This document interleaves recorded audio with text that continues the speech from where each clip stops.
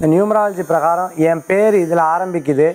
என்னுடைய குணாதிசயங்கள் என்ன நான் இந்த தெய்வம் வழிபாடு பண்ணால் எனக்கு நல்லா இருக்குமா அப்படின்னு கேட்குறவாளுக்கு சப்போஸ் ஜாதகம் இல்லை இல்லையா அவளுக்கு இது ரொம்ப யூஸ்ஃபுல்லாக இருந்துன்னு இருக்கும் இந்த ஏஐஜேக்யூஒய் இவாள்லாம் சூரிய பகவானுடைய ஆதிக்கம் நிறைந்தவர்களாக இருப்பாங்க. அதனால் சூரிய பகவான் வழிபாடு பண்ணுறது சிவ வழிபாடு பண்ணுறது விசேஷ பலன்களை கொடுக்கும்.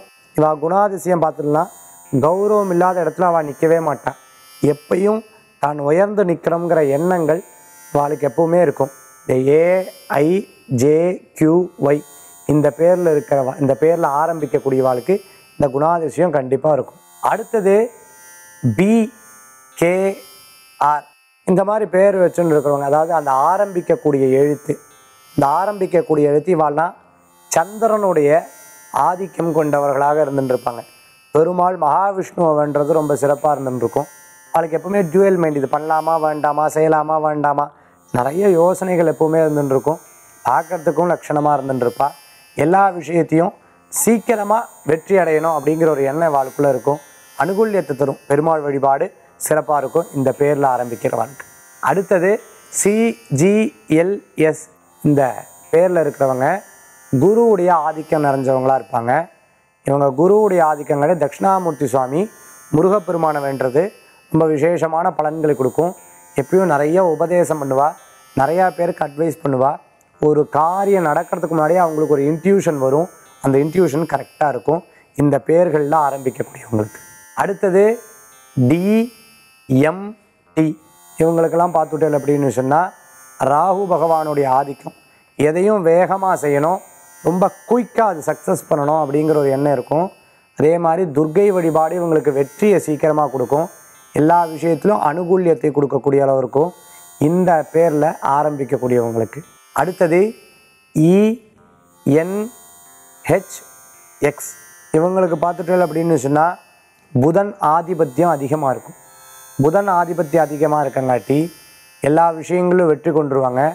சக்ஸஸ் நிறையா இருந்துருக்கும். தெய்வ அனுகூல்யம் ஜாஸ்தியாக இருக்கும்.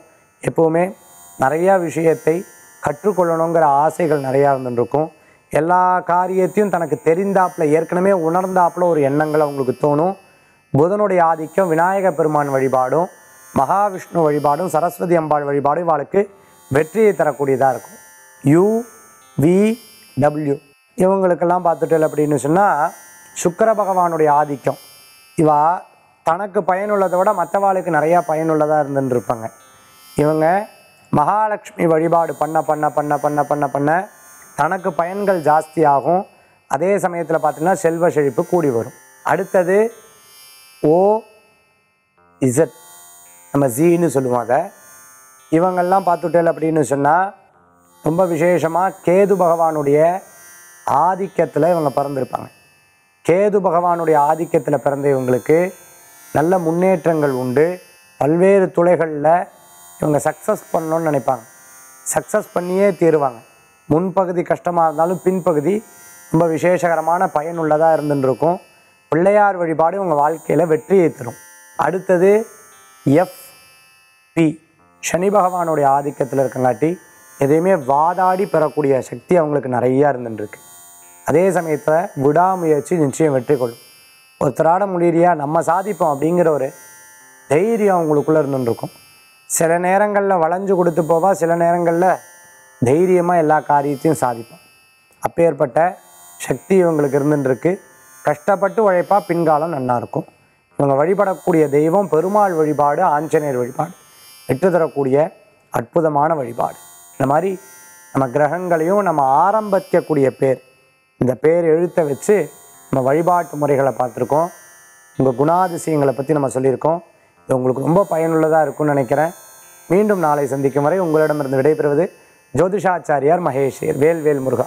வெற்றிவேல் முருகனுக்கு கரகரோகரா. நன்றி.